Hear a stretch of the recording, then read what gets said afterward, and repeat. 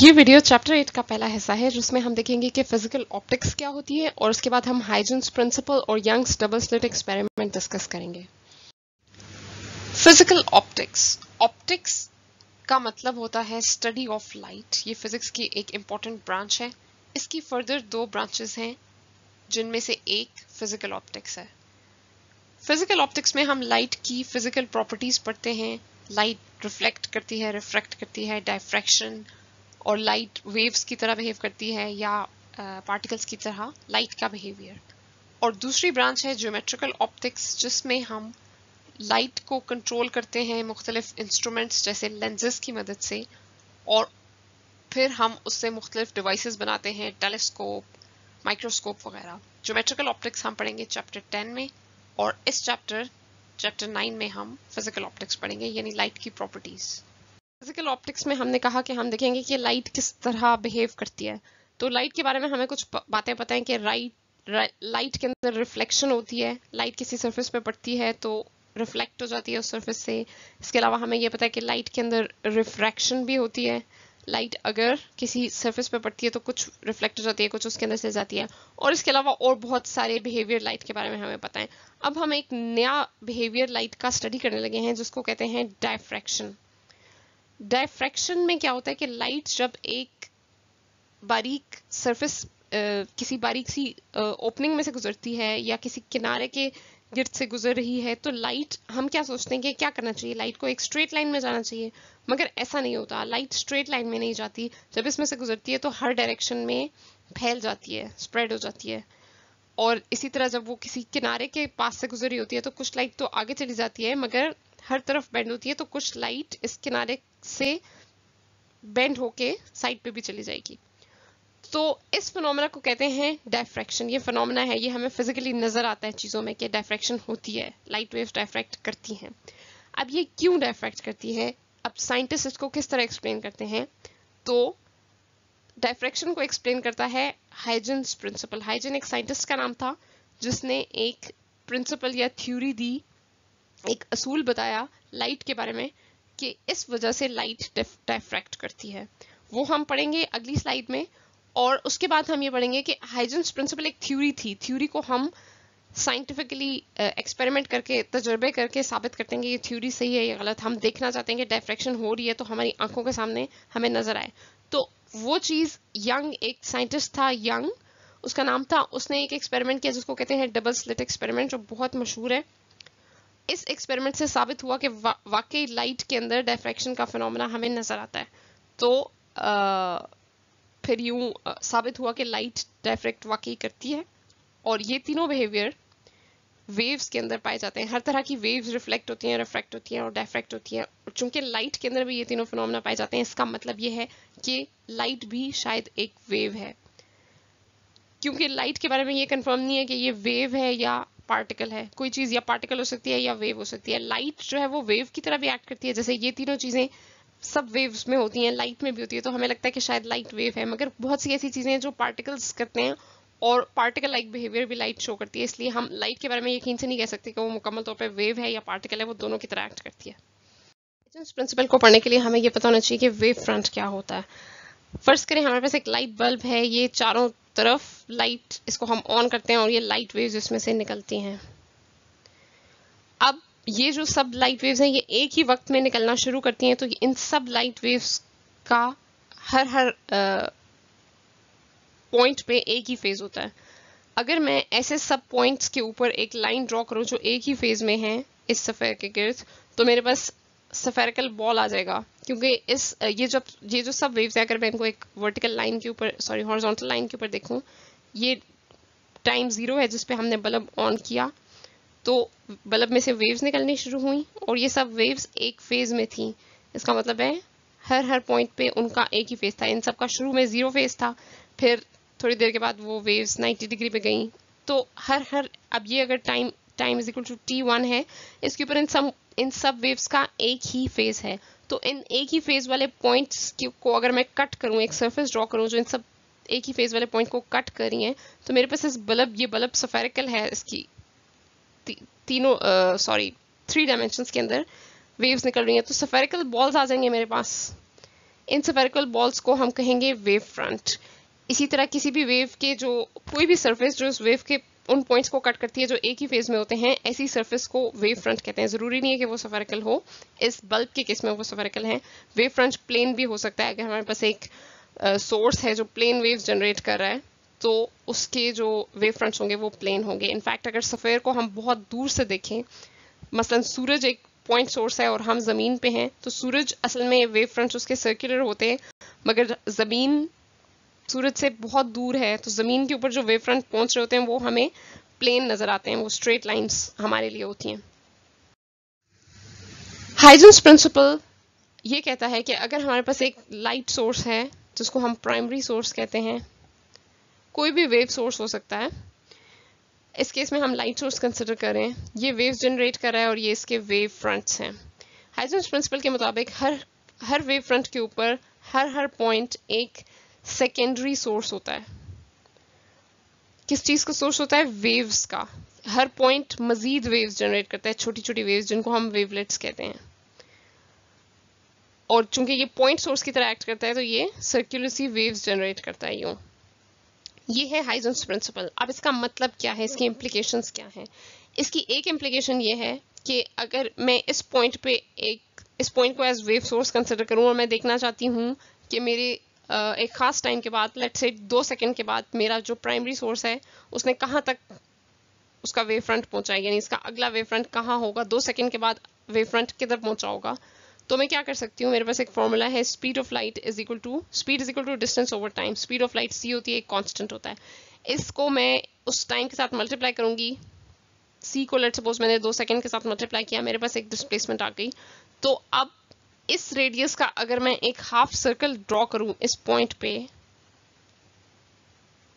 एक half circle draw करूँ, और इसी तरह इस वेव फ्रंट के ऊपर हर हर पॉइंट पे मैं उसी रेडियस का हाफ़ सर्कल ड्रॉ करूँ तो मेरे पास काफ़ी सारे हाफ़ सर्कल्स आ जाएँगे यूँ करके। मैं इन सब हाफ़ सर्कल्स के ऊपर एक टेंजेंट ड्रॉ करूँ, ये सब इन फ़ेज़ होंगे।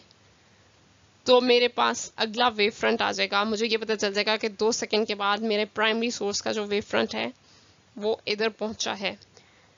तो इससे मैं एक तो ये पता कर सकती हूँ वेव फ्रंट ड्रॉ कर सकती हूँ। इसके अलावा हाइजेंस प्रिंसिपल की वजह से हमें पता चलता है कि स्लिट के अंदर से वेव बेंड किस तरह होती है। अब क्या होता है कि अगर मैं इसी पूरी सरफेस के आगे एक स्लिट रख देती हूँ, एक सरफेस रख देती हूँ जिसमें एक बारीक सी ओपनिंग है तो अब इसके ऊपर ये वेव फ्रंट्स पढ़ रहे हैं, पढ़ रहे हैं। इस वेव फ्रंट का हर हर पॉइंट एक नया वेव सोर्स है। तो इस पॉइंट पे भी एक नया वेव सोर्स के तौर पे वो एक्ट कर रहा होता है।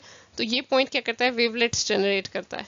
तो इस पॉइंट सोर्स में से असल में वेवलेट्स जनरेट हो रहे होते हैं। तो लाइट स्ट्रेट लाइन में सफ़र नहीं करती, बल्कि ये जो पॉइंट जो स्लिट होती है, वो उसके ऊपर जो वेव फ्रंट होता है, वो एक वेवलेट का सोर्स के तौर पर एक्ट कर रहा होता है। इसलिए हमें देखने में नज़र आता है कि लाइट उसमें से स्प्रेड आउट करिए बेंड करिए उसके अराउंड तो हमारे पास एक पॉइंट सोर्स है, उसमें से वेव फ्रंट्स निकल रहे हैं, उसके आगे मैंने एक सरफेस रखी जिसके अंदर एक स्लिट था वेव फ्रंट के ऊपर हर हर पॉइंट एज सेकेंडरी वेवलेट्स का सोर्स एक्ट कर रहा है।